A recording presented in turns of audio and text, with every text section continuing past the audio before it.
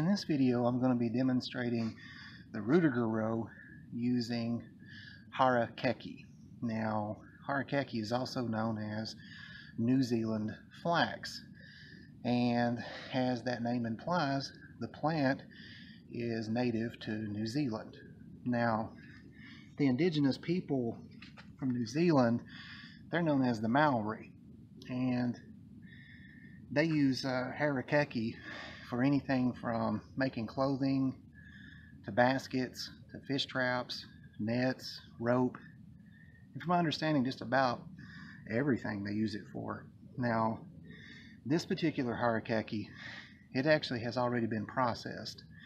My friend Ari from New Zealand actually sent this to me, and rather than just send some big green leaf through uh, mail, in some kind of tube or something, he thought it would probably be better to go ahead and safely just process it down for me. He actually already had it made into cordage. I've actually unraveled it here, and it's kind of reminiscent of, say, like yucca or something. It's kind of soft and long in strands. It actually might be softer than yucca. It seems that way anyway. But anyway, um, since it was my idea, and I told him that I thought it would work with the Rudiger friction fire method. He wanted to have let me have the first crack at it using it for this method. So that's what I'm going to do here. Now I'm going to get this set up and you'll see how this works.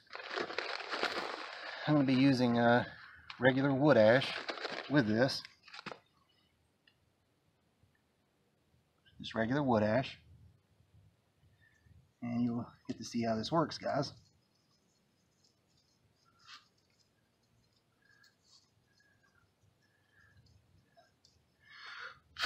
Bit too much on there.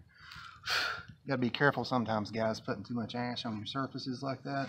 There is the potential to snuff out an ember.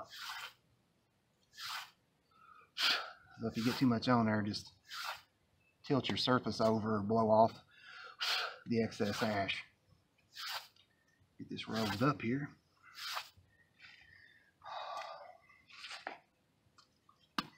At the heavy frost out this morning. Get this compacted down. That should be good.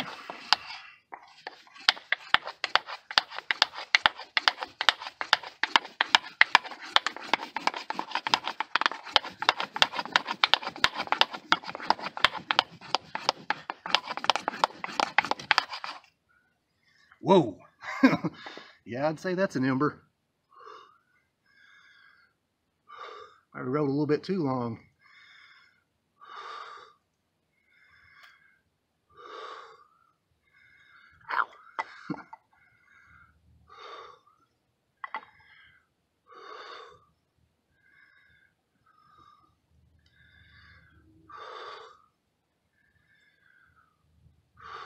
Well, it works as well as any other clamp that I've ever used.